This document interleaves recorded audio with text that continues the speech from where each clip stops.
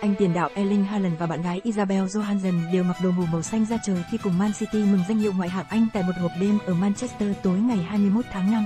Chiều ngày 21 tháng 5, Man City chỉ ra sân với đội hình dự bị nhưng vẫn thắng Chelsea 1 không ở vòng 37 ngoại hạng Anh nhờ cú sút chéo góc của nhà vô địch World Cup 2022 Julian Alvarez. Chiến thắng này giúp màn nâng cấp của câu lạc bộ thành Manchester sau trận càng thêm trọn vẹn. Đến buổi tối, các cầu thủ Man City cùng vợ, bạn gái đã đến hộp đêm MNKYSSE ở Manchester để tiếp tục mừng chức vô địch ngoại hạng Anh và tiệc tùng đến rạng sáng ngày 22 tháng 5. Trong đó, Haaland và Johansson nổi bật hơn cả với trang phục đồ ngủ đôi màu xanh da trời. Tiền đạo Na Uy tươi cười trước ống kính sau mùa giải ra mắt tuyệt vời tại ngoại hạng Anh ghi 36 bàn để xác lập kỷ lục mới và chắc chắn giành danh hiệu chiếc giày vàng. Haaland và bạn gái đồng hương được cho đã hẹn hò thời gian dài nhưng mới bị truyền thông Anh phát hiện từ năm ngoái.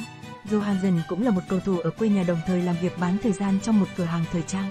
Bố của Haaland, ông Anfin cũng có mặt tại hộp đêm. Ông mặc chiếc áo màu xanh da trời cùng áo khoác tối màu.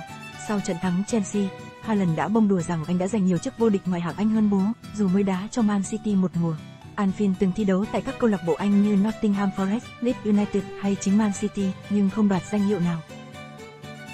Đội trưởng Ilkay Gundogan chọn vẻ ngoài giản với chiếc áo khoác đen cùng áo phông trắng trơn, khi dự buổi lễ mừng danh hiệu với bà xã Sarah Afawi. Tiền vệ Đức được cho từ chối gia nhập Barca theo dạng tự do và sẽ gia hạn với Man City vào hè 2023. Kevin De Bruyne đi cùng vợ Michelle Lacroix và diện bộ vest đen lịch lãm. John Stone người thăng hoa với vai trò mới. Trong hệ thống của Pep Guardiola mặc quần jean, áo phông và áo khoác khi đi cùng bạn gái Olivia Naylor. Trong khi đó, Kai Walker, Bernardo Silva, Emerick Laporte, Kevin Phillips, Julian Alvarez hay Ederson đều chọn trang phục giản dị. Vào hộp đêm, Holland đã quay cảnh tự nấu món bít tết khi nhận lời khuyên từ một đầu bếp và đăng lên phần Instagram Story. Walker thì hát vang bài hát ca ngợi Stone rồi nói, cậu ấy rất ghét Man UTD. Báo Anh Sportmail nhận định những phát ngôn này của Walker như đổ thêm dầu vào lửa trước chung kết Cup FA giữa Man City và Man UTD trên sân Wembley ngày 3 tháng 6. Đây là lần đầu tiên hai đội đụng độ tại chung kết Cup FA và càng có ý nghĩa quan trọng hơn khi Man City đang hướng tới cú ăn ba lịch sử.